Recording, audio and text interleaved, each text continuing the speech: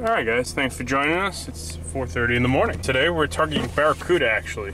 And uh, let's see what else we could bump into. We're targeting the Barracudas today. And uh, yeah, it's gonna be exciting. We're gonna keep one if we can catch one. We're gonna surf launch right now, 4.30. I'll get the kayak on the beach by 5.30. And yeah, it should be a good day. I'm really hoping I can get it out of the way early. Uh, let's get out there. Mm, I didn't have I didn't have coffee today though. That was like the biggest mistake I did today, as I skipped coffee. We got some angry skies, but I think it's residual stuff from overnight, so we should be okay. Hoping we get to like 9 o'clock, 10 o'clock, and we start heading in. I think that's this kind of day, 9 o'clock and turning around. Yeah, Kinsel's throwing off a couple swells here. All right, we're targeting these barracudas on wrecks with these tubes. The same tubes basically you use for stripers and bluefish. Tubes are very popular lures for barracuda. Live bait would have worked great, like Spanish mackerel, for example, but there was none of that available. Weather window is very short, actually.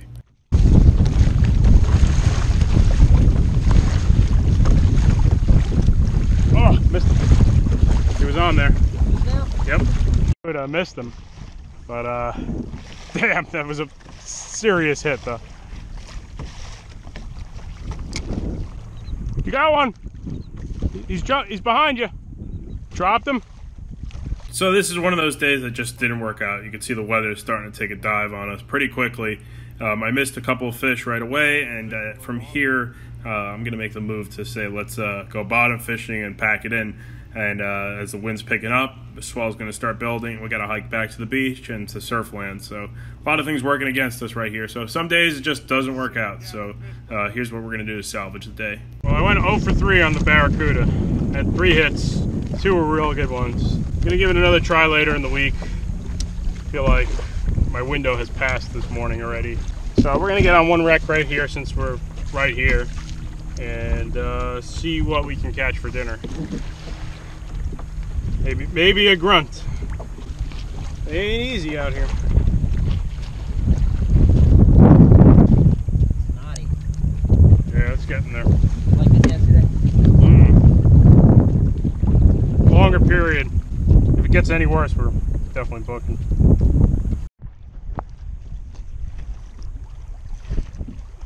It's gonna be an interesting ride on our backs.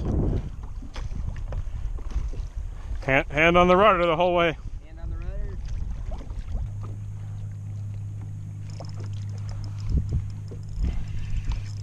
That doesn't suck. That definitely doesn't suck at all.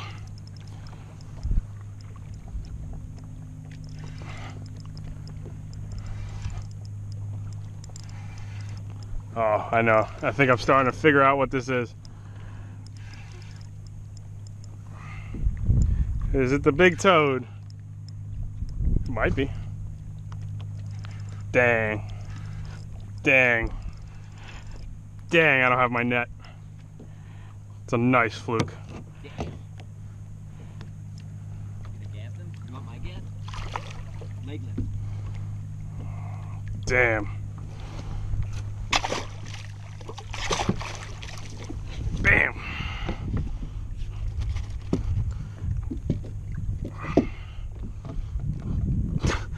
On the crab. Let's take a quick little peek. I know he. What's that? Everything eats crabs. You're right. 21. Well, it's not the Barracuda, but it just did just gaff a flounder. I think that's the first time I've ever done that. And I missed his head. I got him in the side, but this is a good this is a good sized fish. And uh, yeah, on the crab. All right, we have to head in. Um, missed three kudas, the one 21 inch flounder on a crab. How long did we fish? Not even an hour, right? Like an hour tops. I feel like today could have been slammer. I think it could have been a slammer day. Better safe than sorry. Um, I chased these kudas yesterday. I went 0 for 2 on them yesterday. And uh, yeah, not too bad yet, but it's getting there. All right, now we get to Surfland, which should be okay. Should be. I think I'm just gonna hop out.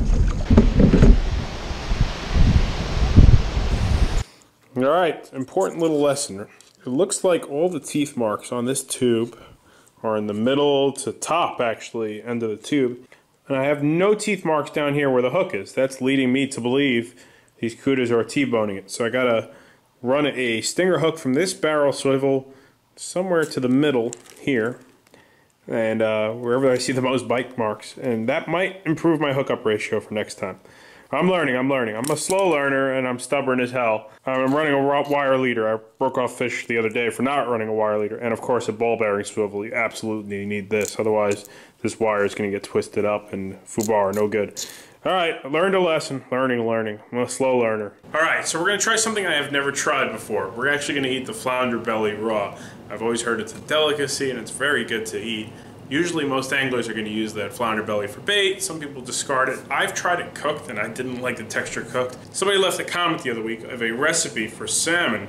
It's a Korean recipe for a soy sauce marinade that I thought was really unique and looked really good. So I said, let's try this with flounder. So I'm really not gonna get too much into detail of the, the filleting. We've done this a bunch of times, so you can go check out those videos. But anyway, let's get into the preparation. Here we go. All right, so this section of meat, uh, I've always heard how good it is. This is called the ribbons. Well, it's nicknamed the ribbon. We'll basically take this little layer out and skin it, and it's supposed to be delicious raw. I'm not a fan of it cooked. I've tried it cooked before, and I thought the texture was kind of off. So we're gonna try something a little different today. So basically they're like these little fat strips. Um, it's a little tough to get them off the, the skin properly. Okay, right here's my piece of flounder. Um, overnight I wrapped it in paper towels so it absorbs any moisture that's gonna be emitted. It's dry, it hasn't been rinsed. I just spent a minute brushing off any scales. That right there is where I, where I gaffed the fish. I'm gonna cut that little part out. You know, metal touched it, I don't know. Um, but basically the, the fillet is clean, no water. It's been kept at 35 degrees overnight. Um, yes, there is some risk associated to eating any raw fish, but um, I've done much riskier things in my life. We're going to cut this guy up and serve him with the, the belly strips also. This should be good. I'm hoping this is going to come out great. All right, so we portioned down the actual filet. Now we're going to work on the belly strips. All right, so there's our belly strips. That's supposed to be our, our main focus and our actual filet meat. Uh, I went with kind of like bite-sized morsels. So uh, next let's check on the sauce and start preparing it. Three quarters of a cup of soy sauce. Three quarters of a cup of water. Yeah, that was just the residual soy sauce. Sorry for the yellow. Yes, I know it looks strange. And a quarter cup of sugar. That's really all we need here. And we're gonna heat that up. All right, we're all good here. Let's reduce that. All right, so we gotta let this cool off, right? I'm gonna let this get down to room temperature and then I'm gonna refrigerate it. So the fish is gonna go back in the fridge right now. Okay, so first step, we're gonna add our fish to the bowl.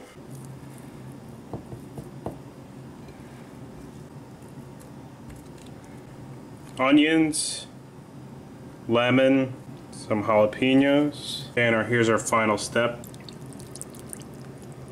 Okay. Okay, we're gonna refrigerate this for three hours. Um, we'll make some rice, and there we go. Looks good, man. I'm excited to try this. I think it's gonna be real good. I'm gonna add a little bit of pepper right now too, and uh, that's it. Okay, it's been three hours, so uh, I've seen recipes that call from three hours to six hours to 12 hours to 24 hours. Since flounder is kind of lean, I'm betting three hours is gonna be more than enough. But we'll try it all different ways. Since I've never tried this before, uh, three hours taste test. Here we go. Oh, look at that glaze, man. All right, let's give it a try.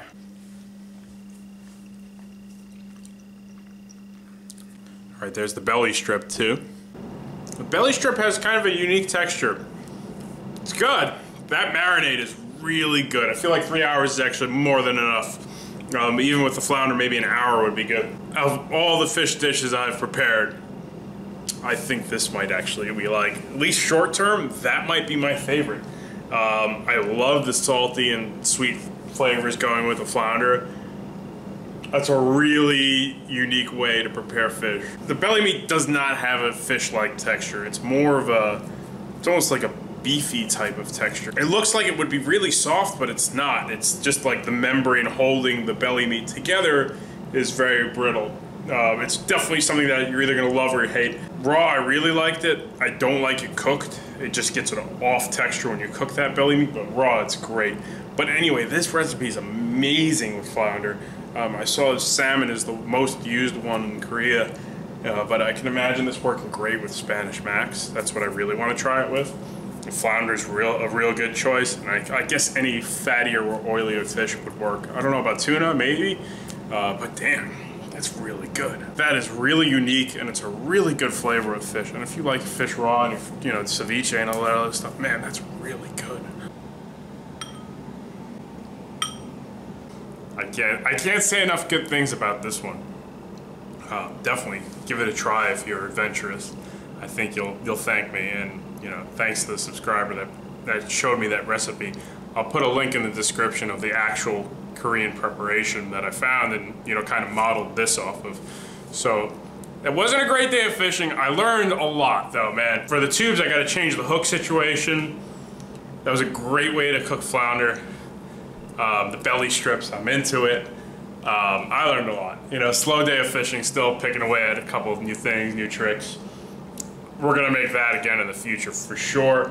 Um, if anyone knows the the technical term of what it is, does it have a name or is it just marinated salmon? Please just comment. I'm sure you can adjust it to your own taste as you go along. Every fish is probably different. Leaner fish does not need as much soy sauce and sugar. It probably cures faster as well.